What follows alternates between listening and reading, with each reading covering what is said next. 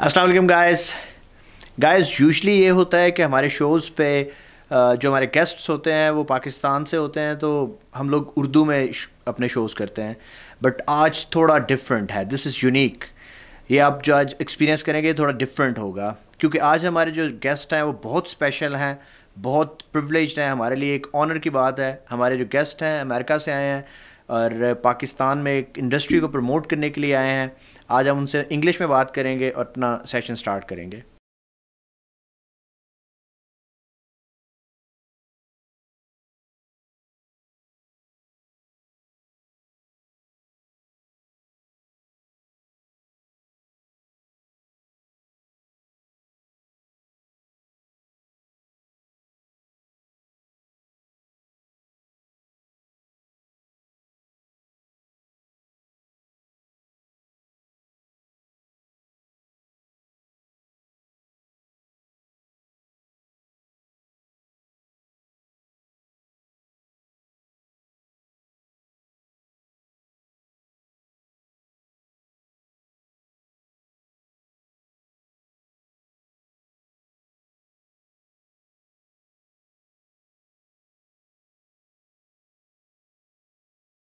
As I told you that uh, the guests that we have have came from long way from America.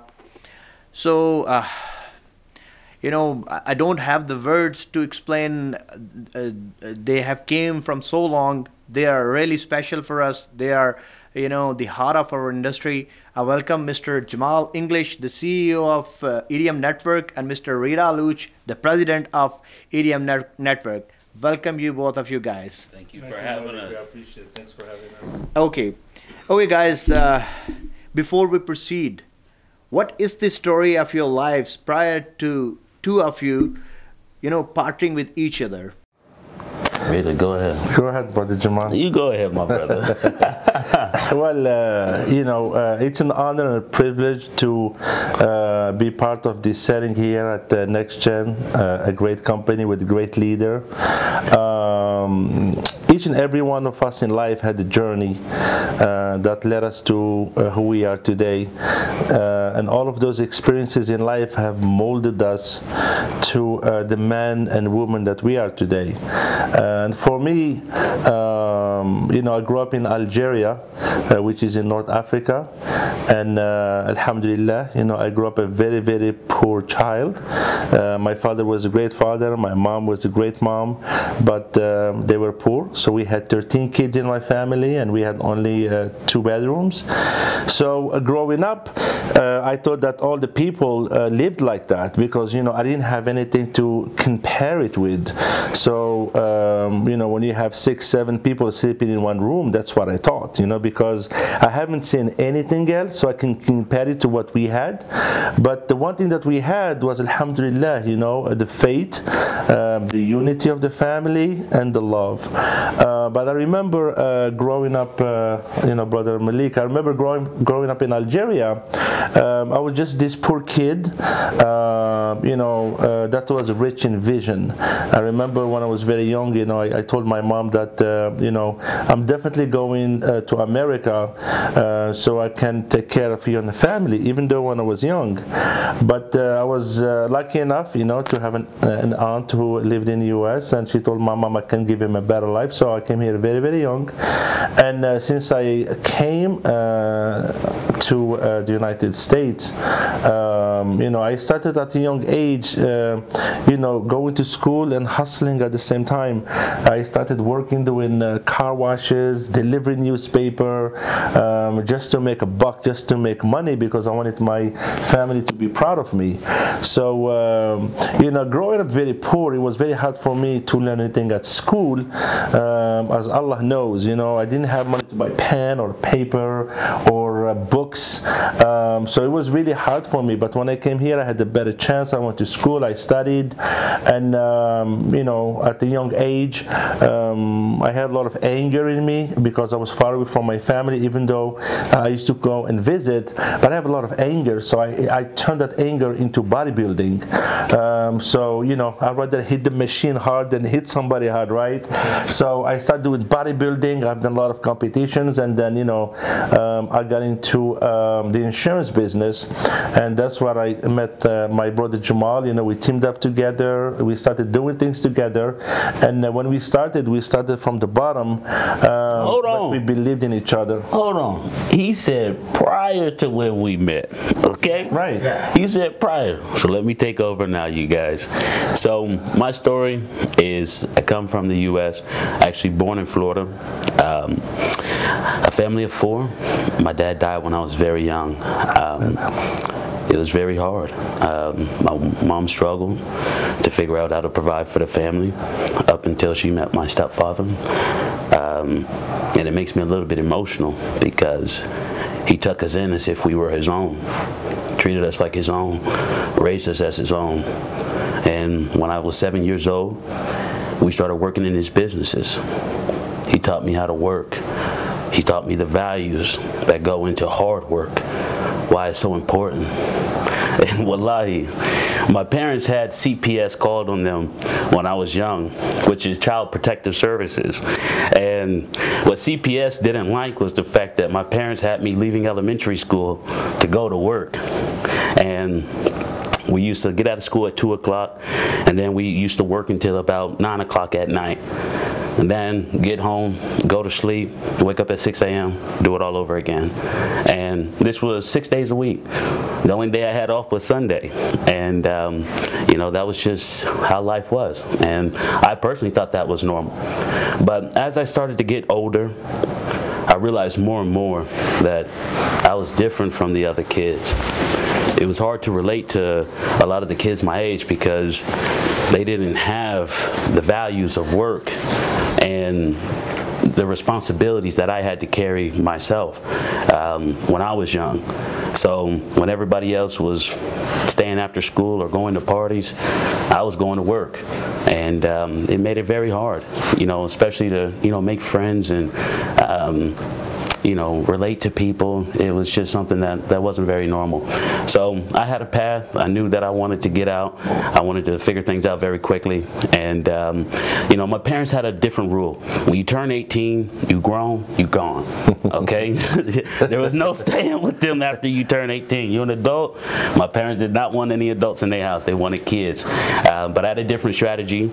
Um, I went to go see my counselor one day in high school, uh, probably about my freshman year or so and I said, what's the fastest pathway for me to graduate as quickly as possible? Uh, alhamdulillah, I ended up graduating at the age of 16 from uh, school.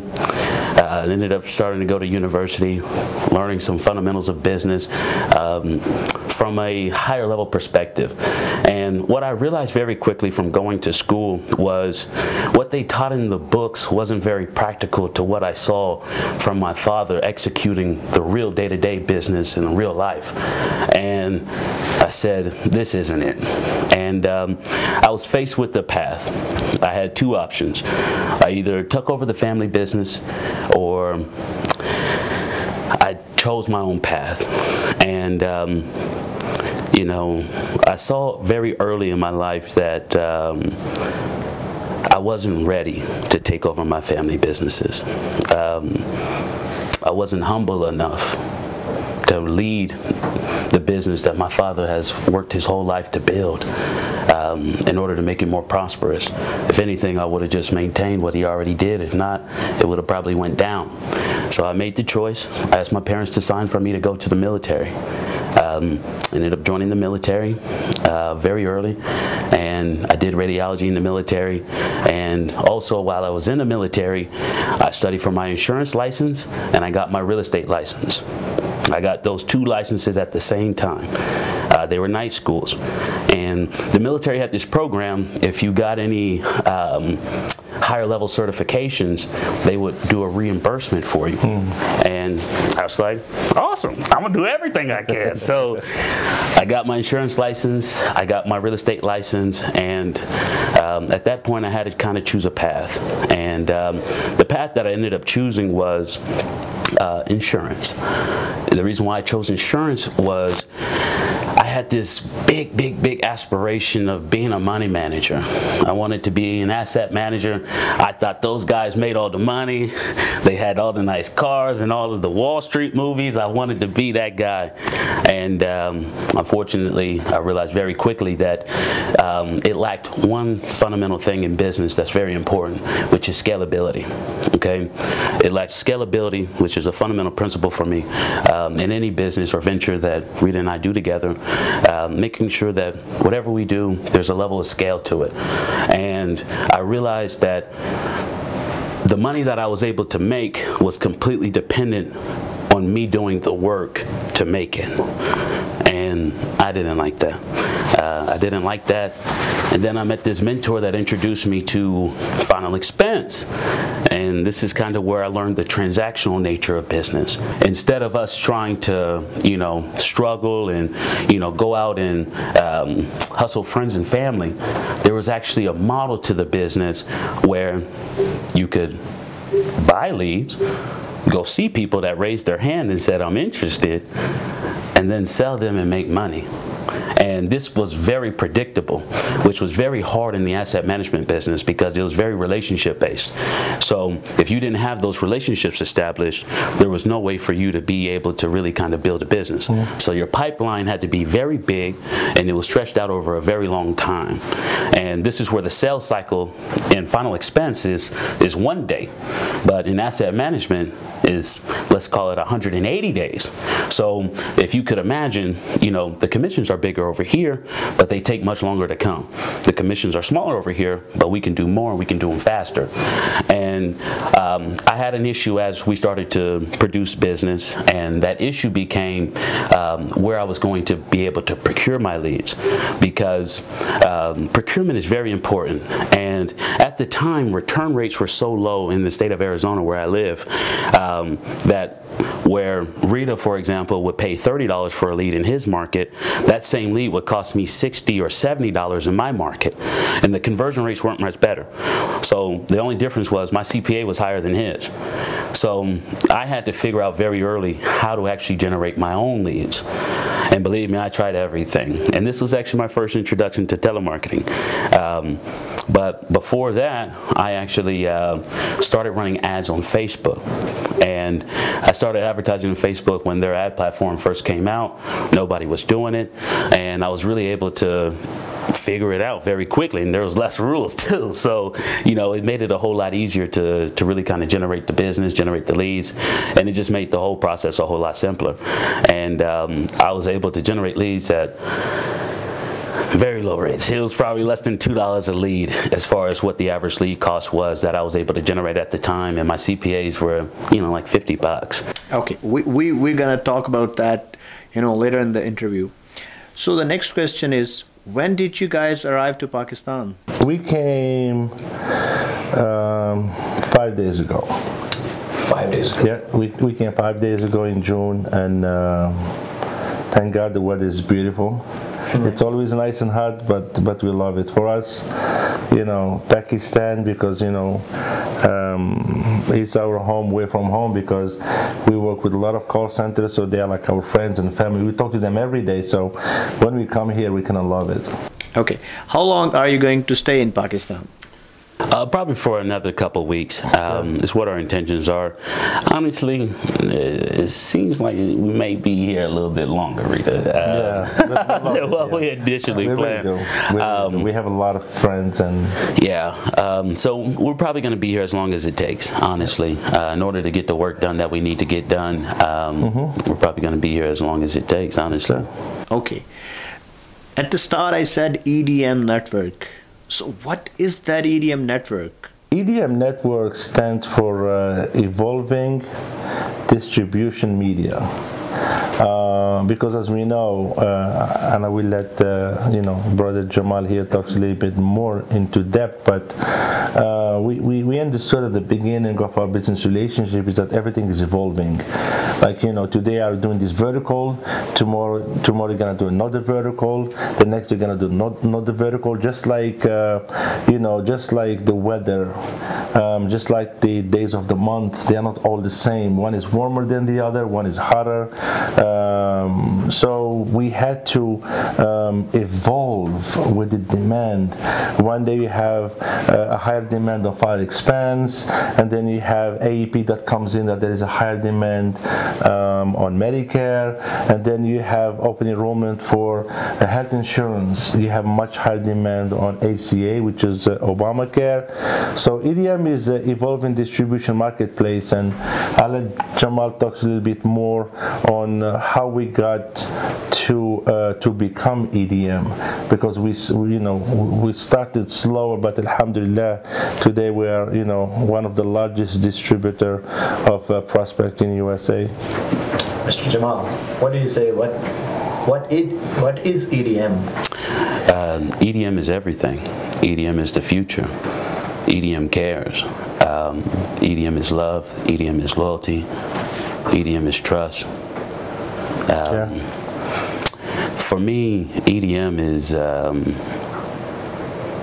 it's, it's, it's, I can't. It's hard to articulate, um, honestly. And um, you know, at its core, what exactly what Rita said, evolving distribution media. This entire business journey for us has been an evolution. Um, we all evolve, both for the positive, for the negative, um, but it's a part of life. And um, if we don't evolve, we get left behind, and we must keep that in mind for everything that we do. Um, and if we don't acknowledge that, that's where we start to have the biggest issues. So when you think about EDM, there's a couple ways that you can see it.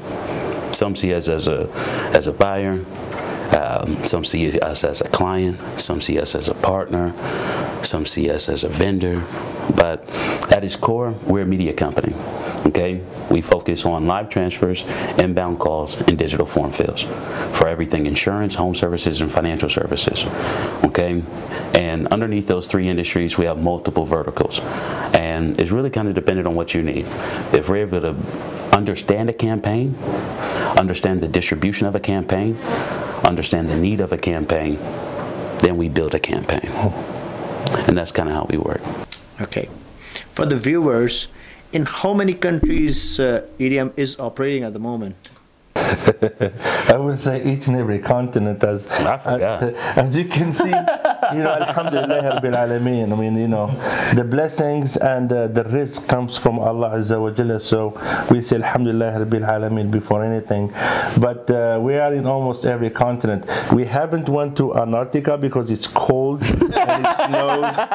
But uh, you know, as, as you know, we, we, we did our uh, African tour and then we did our Eu- European tour. Now we are doing our Asian tour. We're gonna go from uh, you know Pakistan or the great country of Pakistan to India to Philippines, and then we have to go back to Africa, Egypt and Morocco, and then I have to go back to Algeria, and then Jamal is going to visit our partners in uh, in Barcelona.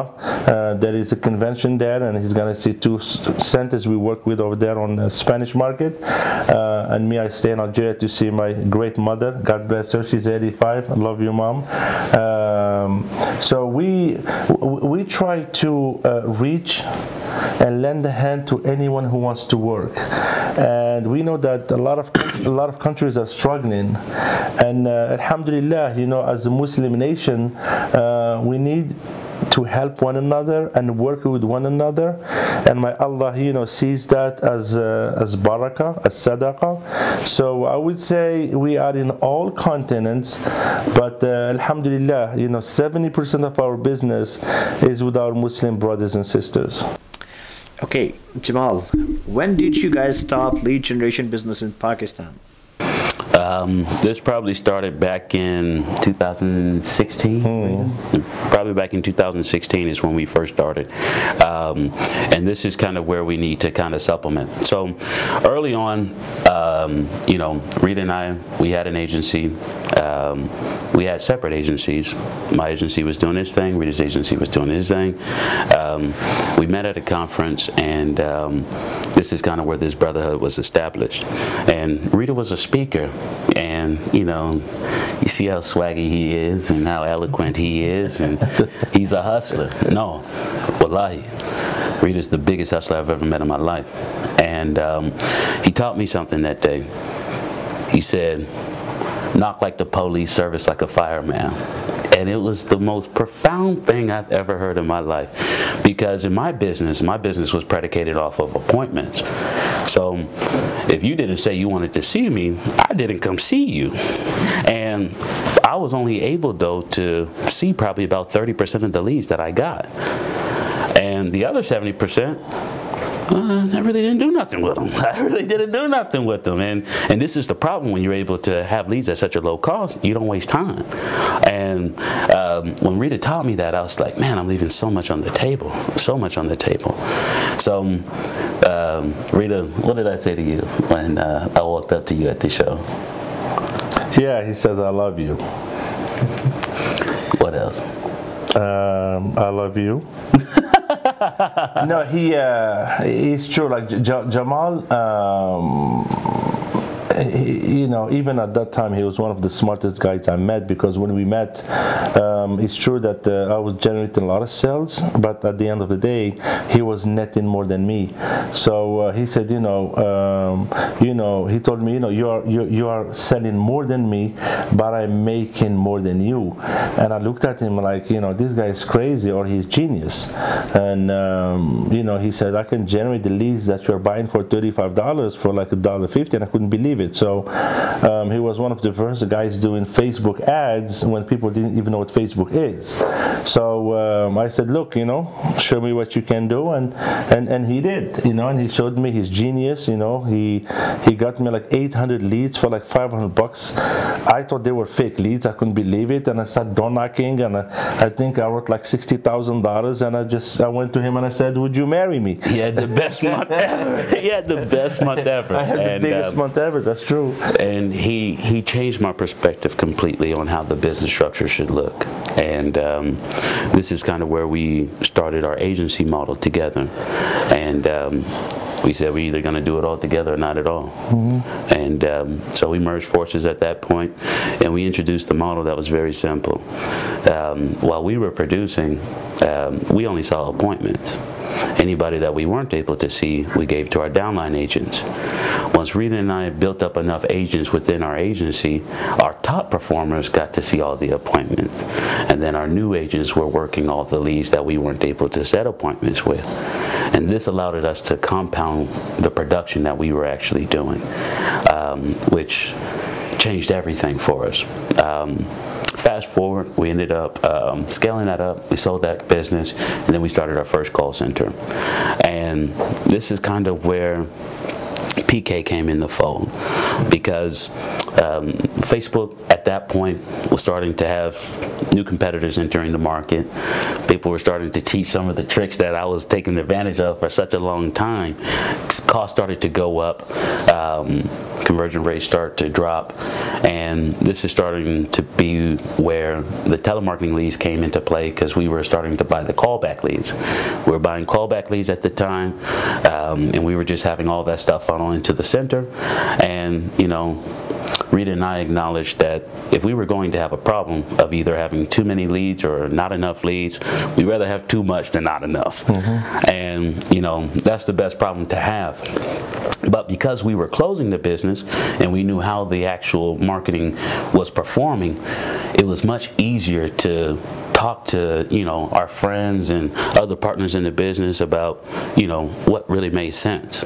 And um, so we started to sell the excess to them. And that was just the beginning. And then from there we still kept growing our agency and our call center. That was something that was we were still doing. Um, but at the same time rita for all the listeners out there he speaks 12 languages he speaks 12 languages. So um, Rita was already traveling the world at that time, um, going to North Africa, going to Europe, um, going to some other Muslim countries in the Middle East. Uh, but then he started saying, look, let's go where we're getting these telemarketing leads. And this is where he made his first trip to Pakistan. Um, at that time, we didn't know too many people. I think we only had like, what, three or four Yeah. for that whole trip. We had like three or Yeah, four we, we, meetings. we were big. We were big on the callbacks. Yeah. Because at that time, you know, the live transfers weren't big. Everybody was doing callback. That was way, way back.